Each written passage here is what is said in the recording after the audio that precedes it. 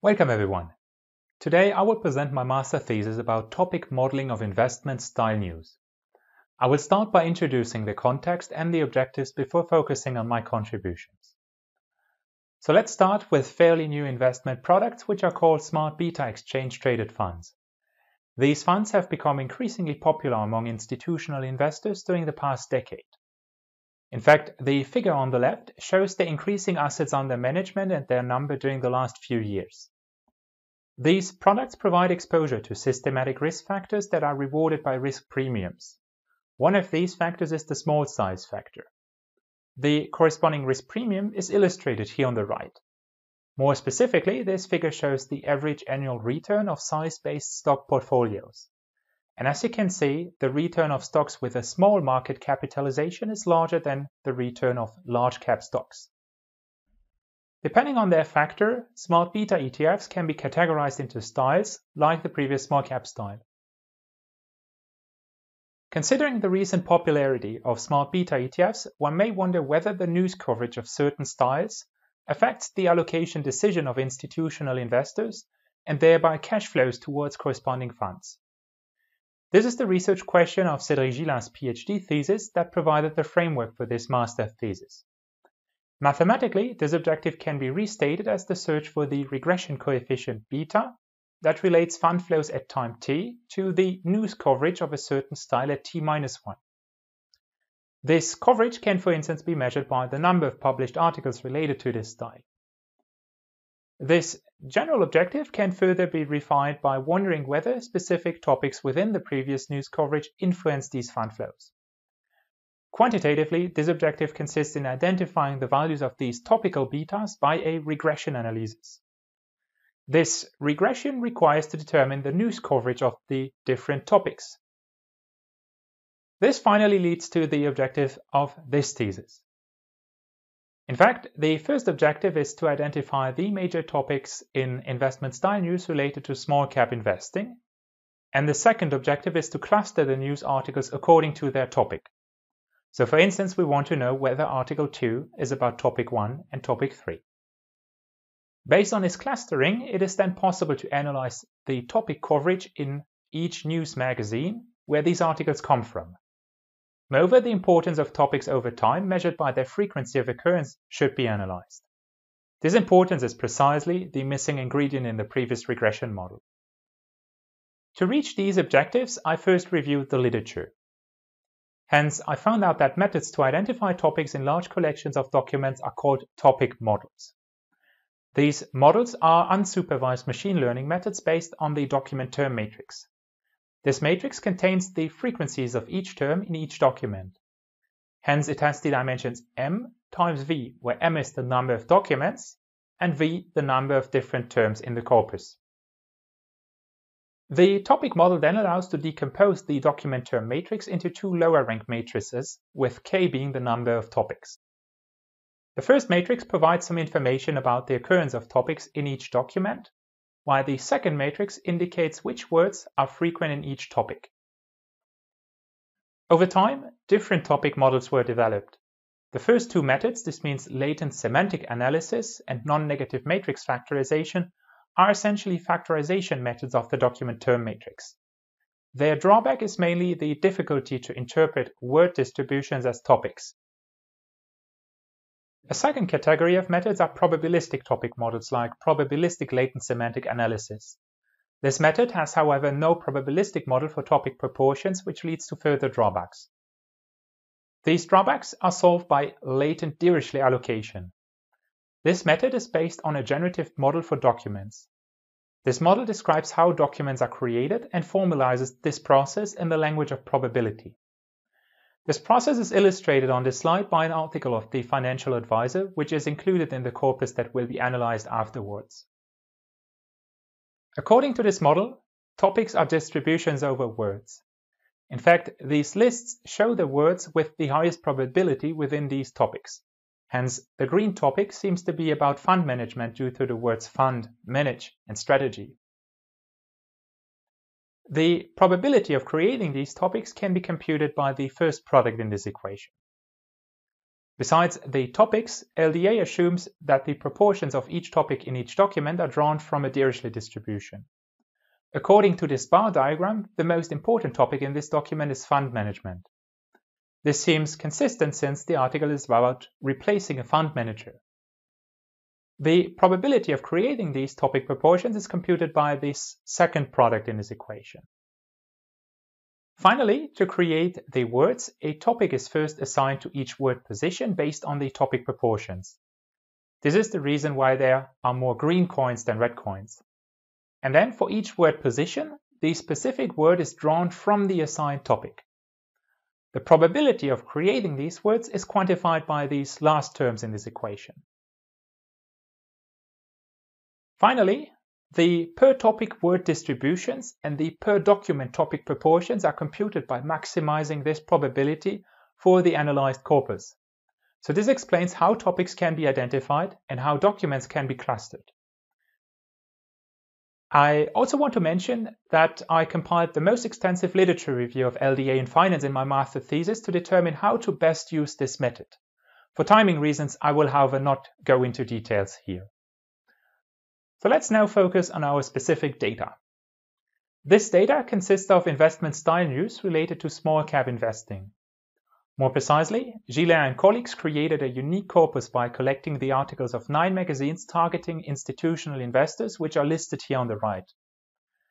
The advantage of these magazines over real-time financial news is the aggregation of information so that style information is expected to be included.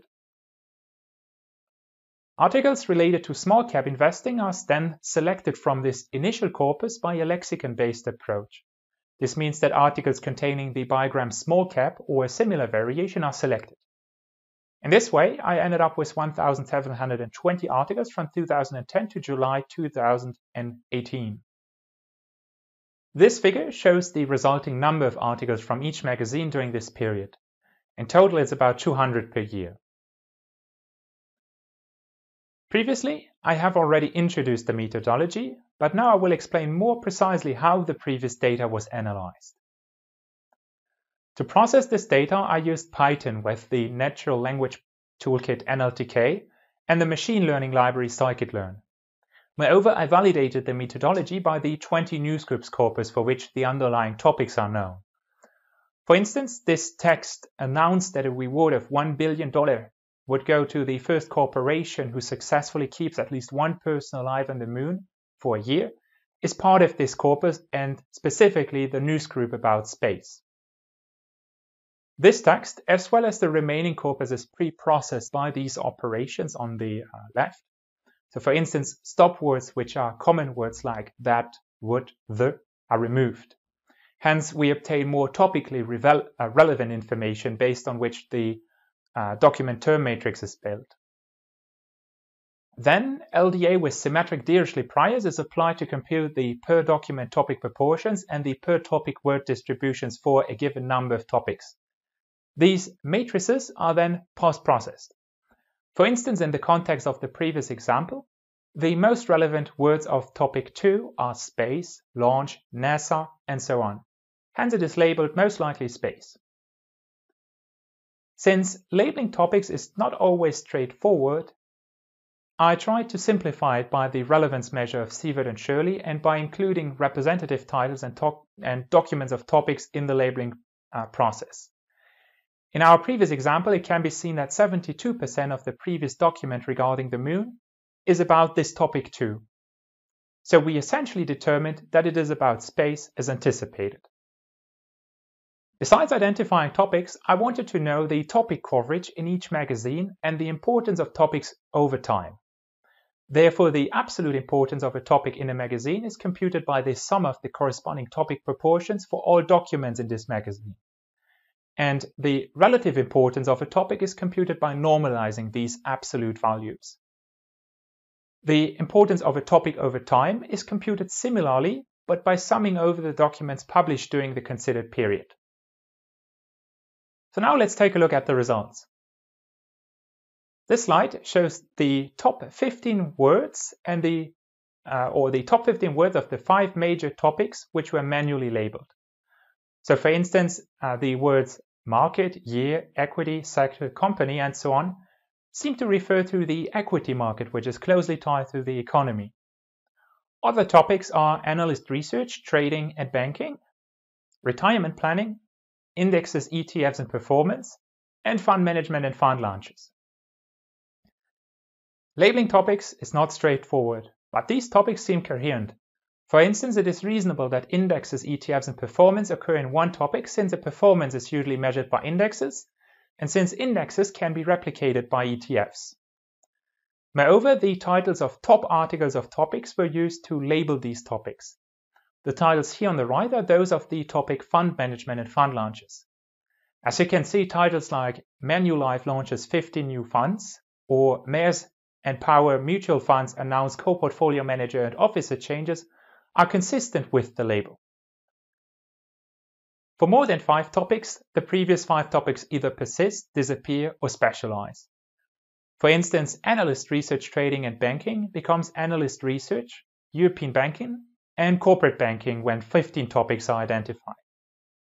Spurious topics, however, start to appear for 15 topics as suggested by the perplexity, which is a performance indicator of topic models.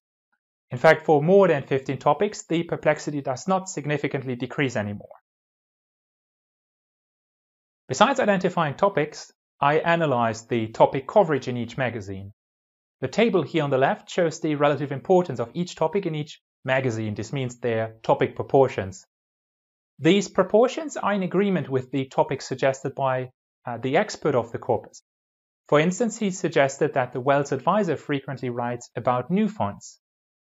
This is actually true as indicated by the 59% of topic 5 that is about fund management and fund launches. Similarly, Plan Sponsor writes about past performance by the topic indexes, ETFs, and performance. There are also other validating agreements. So for instance, Plan Sponsor and Plan Advisor have similar topic proportions due to numerous identical articles. Finally, I analyzed the importance of topics over time. The figure on the left shows the relative importance of topics for each year. As you can see, topic 5 about fund management and fund launches is the most significant topic in the dataset. Moreover, topic 4 about indexes, ETFs and performance decreases. One could assume that fewer small cap ETFs are launched since this topic is mainly refined to ETF launches when more topics are identified. This interpretation is however hypothetical and it should be tested in future research. The figure on the right shows the relative importance of topics per month. And as you can see, a noticeable trend is the increase of topic 5 in January and its decrease at the end of the year, whereas topic 4 increases at that time. This could be interpreted as changes in fund management and fund launches preferentially occurring at the beginning of the year in response to their performance. It is, however, difficult to advance more precise interpretations. So in conclusion, I selected the topic model LDA and determined best practices by compiling the most extensive literature review of LDA in finance. Based on this method, I identified the major topics in a unique corpus related to small cap investing. Moreover, I clustered these articles according to their topics to characterize magazines and topical trends over time. The approach is mainly limited by the required expert knowledge to label topics and to interpret trends. Nevertheless, it allowed to transform qualitative textual data into topics and topic proportions.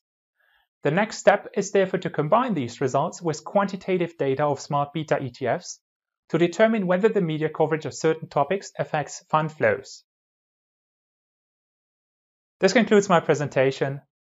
Thank you for your attention.